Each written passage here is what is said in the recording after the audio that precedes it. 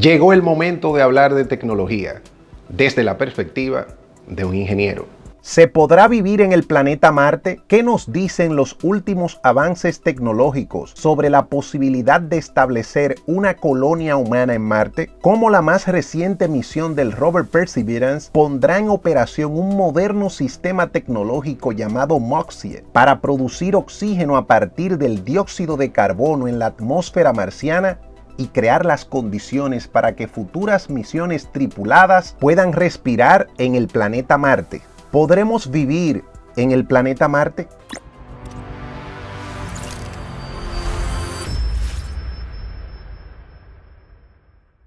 La posibilidad de vivir en Marte y su eventual colonización es una meta muy presente actualmente, que ha llevado a algunos empresarios, empresas y países a incluso proyectar esa posibilidad para el año 2040, para lo cual se tendrán que desplegar los avances más importantes en materia de tecnología y telecomunicaciones aplicadas, así como importantes esfuerzos en investigación y desarrollo que hagan habitable un ambiente incompatible con la vida humana, como es actualmente el planeta Marte.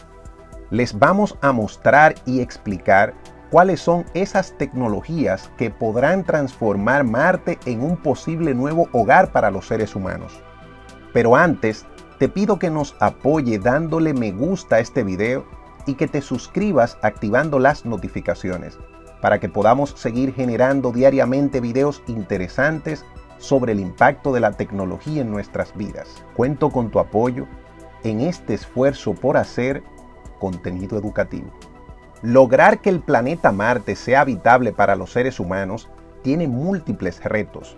Por ejemplo, la distancia de vuelo desde la Tierra a Marte, que sometería a los seres humanos a unos 6 o 9 meses de vuelo en el espacio aproximadamente, con todos los riesgos y retos que esto implica, ni hablar de los mortales riesgos en el aterrizaje, en los 7 minutos de terror que es como se le conoce a la maniobra ultra peligrosa en la que en 7 minutos se pasa de una velocidad de 20.000 kilómetros por hora a cero. A pesar de que solo esos dos elementos son suficientemente desafiantes, hay limitaciones sumamente importantes que se han convertido en la prioridad de los actuales esfuerzos investigativos para poder habitar Marte. Tal es el caso de hacer respirable el entorno marciano, cuya atmósfera actualmente está dominada en más de un 95% por dióxido de carbono, que haría imposible la vida humana. Es por ello que otro de los tantos aspectos interesantes de la misión Mars 2020 es que el Perseverance cuenta con el sistema MOXIE, un instrumento equipado con pila de combustible que intentará producir oxígeno a partir del CO2. Para lograr este objetivo, el instrumento MOXIET tiene una meta de producir 22 gramos de oxígeno por hora con un 99.6% de pureza durante 50 soles, que son días marcianos. Siendo crucial que el oxígeno producido sea de alta pureza ya que los futuros astronautas tendrán que respirar ese oxígeno creado por el sistema MOXIE. La NASA informó que si MOXIE trabaja de manera eficiente, el próximo paso sería aterrizar en Marte con un generador 100 veces más grande, basado en la misma tecnología de MOXIE, junto con un generador termoeléctrico de radiosótopos. En el transcurso de algunos años, el generador abastecería el sistema, lo que produciría hasta 2 kilogramos de oxígeno por hora y podría llenar un depósito de oxígeno para que sea utilizado cuando los astronautas lleguen en algún momento de la década del 2030. El oxígeno almacenado podría ser utilizado para soporte de vida y también puede ser utilizado como oxidante propulsor de cohetes para alimentar su viaje de regreso a la Tierra.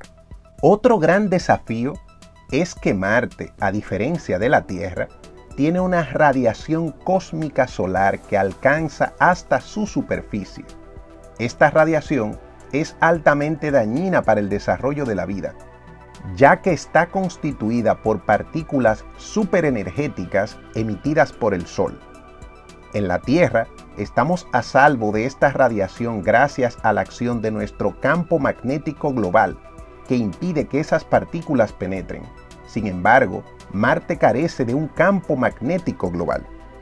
Para superar esa gran limitación, se han desarrollado múltiples tecnologías de protección de la radiación cósmica basada en gruesos blindajes de aluminio que serán claves para la fabricación de estructuras que deberán proteger las áreas donde estén los seres humanos, plantas u otros seres vivos del planeta Tierra. También se han aplicado avanzadas tecnologías en micromateriales para la elaboración de trajes espaciales que protegerán de las condiciones exteriores fatales como frío, calor, radiación electromagnética ultravioleta, ausencia de presión atmosférica, etc.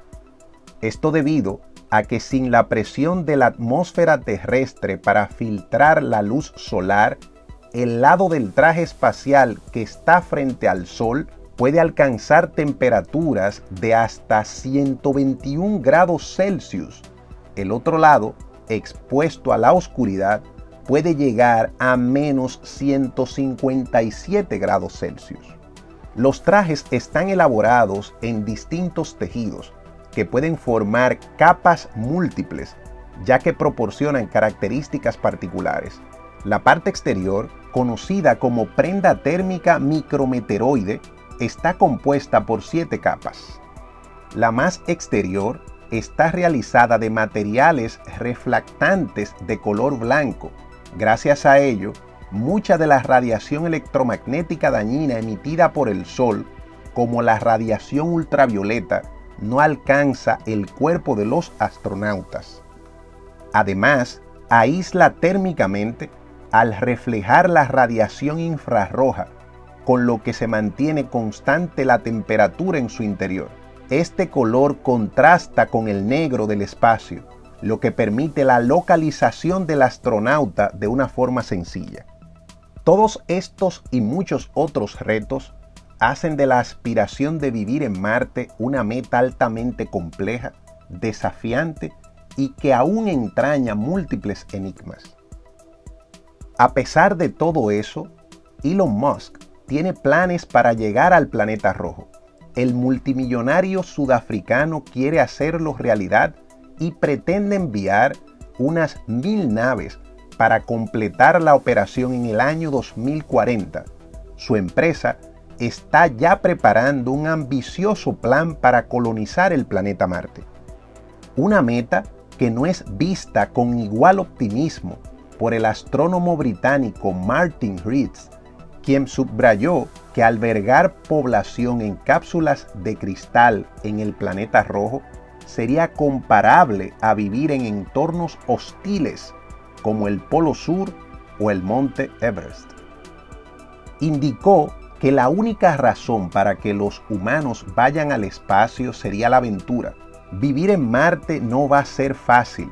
Marte tiene un entorno hostil, subrayó el expresidente de la Real Sociedad de Londres para el avance de la ciencia natural y agregó por lo tanto, la idea de Elon Musk de que un millón de personas se instalen en Marte es un delirio peligroso.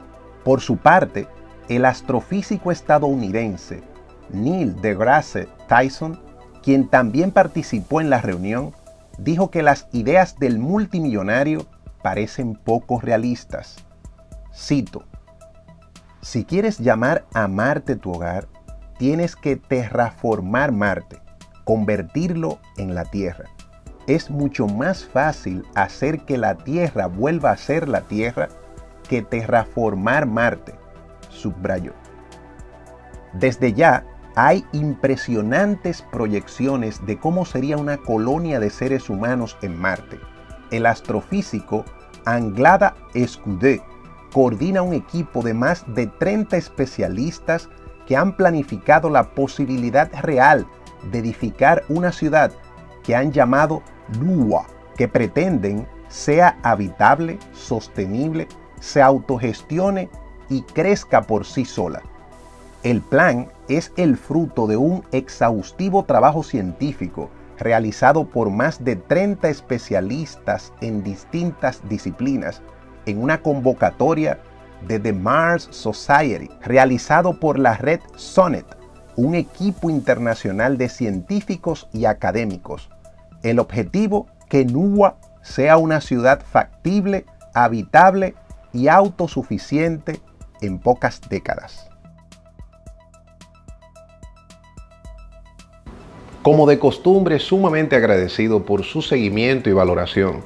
Si no estás suscrito, este es el momento de hacerlo, de activar las notificaciones, de seguirnos en todas nuestras redes sociales, nos identifican como ING Morrison y visitar audienciaelectrónica.net.